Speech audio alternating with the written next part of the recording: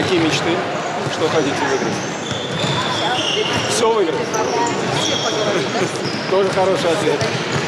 Сегодня у юных сыктывкарских футболистов необычная тренировка. А все потому, что напутствие они получают от самого министра спорта России. Ребята на перебой задают свои вопросы Олегу Матыцину и обещают, что точно станут настоящими чемпионами. Тем более, что им есть на кого равняться. На Кубке Лиги по мини-футболу в этом году команда новой генерации заняла четвертое место, а мини-футбольный клуб «Бухта» и вовсе завоевал первый в своей истории официальный трофей на уровне Суперлиги.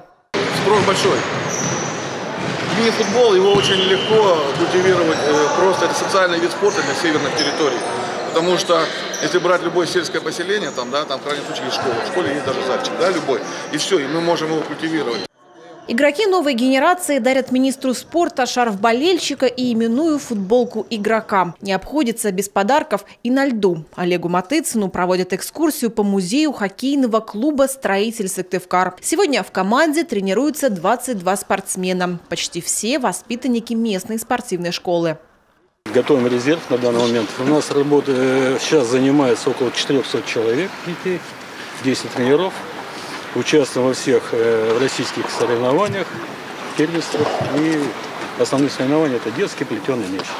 Хоккеисты тренируются на республиканском стадионе, который претерпел масштабную реконструкцию. Современное ледовое покрытие, трибуны на 8200 мест, стандартное футбольное поле с искусственным покрытием, четыре круговые беговые дорожки, сектор для прыжков в длину и волейбольная площадка. Также на стадионе располагается несколько спортивных залов, манеж, имеется запасное поле, вольная борьба, картинг, легкая атлетика и бокс. Сегодня здесь проводятся тренировки по 29 видам спорта.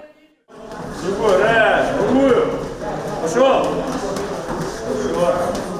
2024 год в Коме начался с открытия сразу двух больших объектов спорта – физкультурно-оздоровительного комплекса в Объячево и Центра единоборств в Ухте. К началу апреля планируется открытие ФОКа и в Троицко-Печорске. Следующие объекты – новые лыжные базы в Сыктывкаре и Ижме.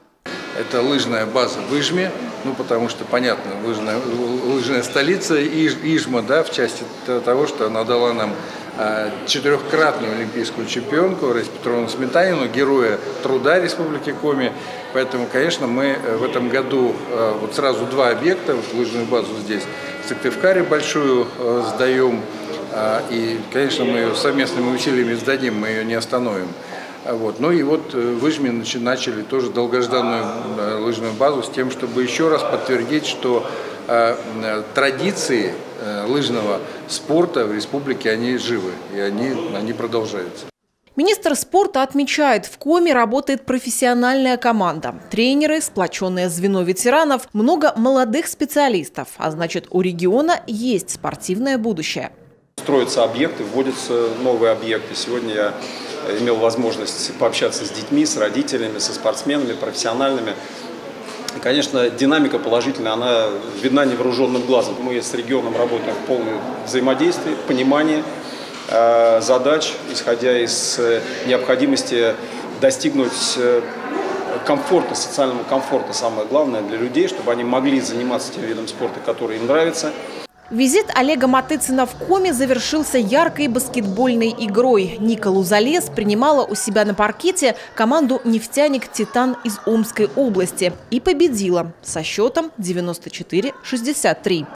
Ксения Лосева, Артем Соколов, телеканал «Юрка».